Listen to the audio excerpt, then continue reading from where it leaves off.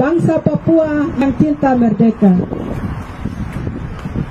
Pada hari yang bersejarah ini, kami bangsa Aceh, khususnya Aceh Sumatera National Liberation Front, dengan sepenuh hati mengucapkan selamat hari ulang tahun Papua Merdeka yang ke-49.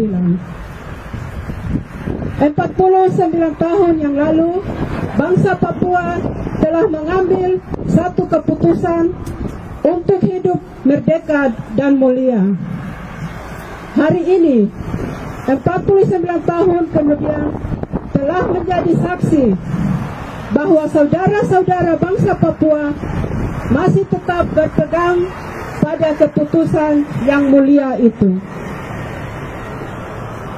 dan masih tetap bertekad untuk mencapai tujuan yang tersebut. Bebas dan merdeka dari penjajah neokolonialisme Indonesia. Karena keadaan tidak mengizinkan untuk hadir di tengah-tengah saudara, maka Aceh Sumatera National Liberation Front mengirimkan tahniah dan pesan pendek ini sebagai penghormatan dan solidaritas kami dengan perjuangan saudara-saudara kami bangsa Papua. Dalam beberapa tahun terakhir ini, bangsa Papua telah membuktikan kepada dunia bahwa saudara-saudara masih berdiri tegak di garda depan dalam melawan penjajah Indonesia. Harapan kami kepada saudara-saudara supaya tetaplah berdiri di muka dalam perjuangan melawan imperialisme Jawa.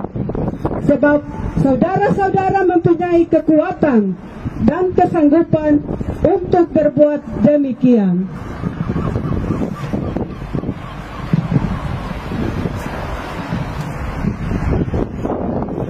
Kalau kami bangsa Aceh dahulu dikenal dunia dalam melawan penjajah Belanda hampir 100 tahun, maka bangsa Papua hari ini patut diakui telah berdiri di garda paling depan dalam sejarah melawan imperialisme Jawa yang lebih jahat itu. Pertahankan rekor ini saudara-saudara. Kami bangsa Aceh selalu berada di samping saudara-saudara dan saling bahu-membahu dalam perlawanan melawan penjajah Jawa yang bertopeng Indonesia. Perserikatan Bangsa-Bangsa telah menyatakan bahwa penjajahan itu adalah satu kejahatan internasional yang wajib dibasmi sampai ke akar-akarnya. Indonesia yang resmi dan legal dalam hukum internasional.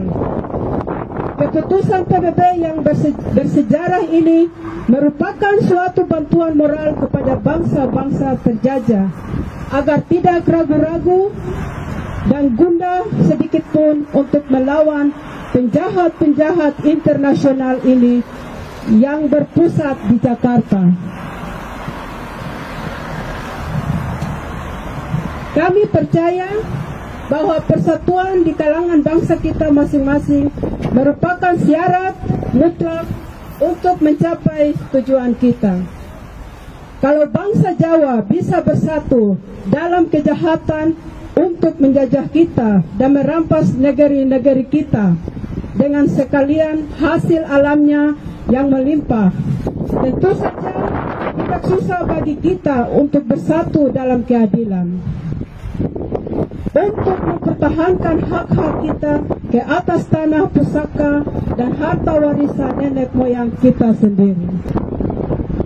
Terakhir, ASNLF mengajak bangsa Papua, bangsa Aceh, bangsa Maluku, dan bangsa-bangsa lain di Nusantara supaya kokohkan persatuan kita dalam menghadapi musuh bersama ini yakni negara ilegal Indonesia atau lebih ditepat dipanggil negara perampok sebagaimana telah dinamakan oleh majalah Life.